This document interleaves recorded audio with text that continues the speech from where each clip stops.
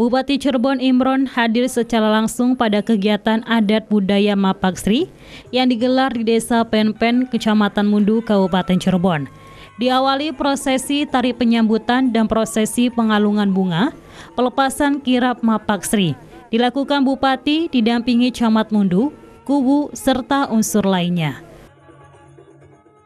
Yang kedua, Mapaksri ini dalam rangka kita bersyukur kepada Allah Subhanahu wa taala petani di Penpen mendapatkan uh, hasil yang maksimal dan tentunya juga para di sini ada penyuluh pertanian, ada petani, ada aparat desa dan semuanya. Ayo kita bagaimana petani ini bisa menghasilkan yang lebih banyak.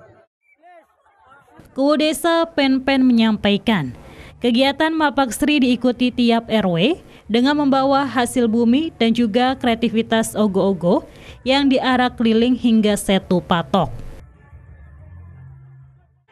Alhamdulillah hari ini uh, dagang Bapak Sri uh, dari para petani Alhamdulillah kita kumpul bersatu di sini ke 23 RT uh, bergabung sini. Acaranya mungkin arak-arakan, ada beberapa onggo-onggo ke arah keliling dari Saung Tani ke Danau Satu Patok. Nanti keliling lagi ke sini kita doa bersama uh, buka tumpeng. Sementara dalam Mapak Sri ini dihadiri oleh sejumlah politisi Partai PKS, sekaligus Bacalek DPR RI maupun DPRD Provinsi Jawa Barat. Para politisi ini mengaku siap memajukan sektor pertanian sebagai sumber pangan, agar ke depan bisa tetap subur dan juga hasilnya melimpah. Salah satunya menggandeng perusahaan pupuk Hayati Cair Biokonversi yang menjadi salah satu pupuk ramah lingkungan. Semua kreasi masyarakat di sini tampil hasil tani tiap tiap RW ya. Dan ini yang pertama kali diadakan itu kan kembali sesudah eh, Covid dua tahun kemarin kan seperti itu.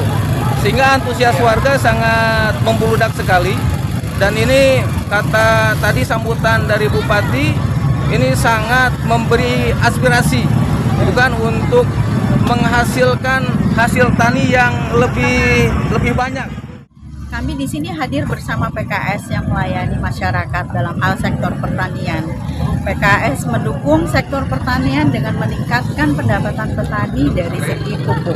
Di sini kami hadir untuk acara Mapaksri Desa Penpen bersama uh, dari provinsi Ustadz Cecep Sarif Arifin dan juga uh, Kang PI milenial muda dari PKS yang turut serta membangun Desa Penpen sebagai putra daerah.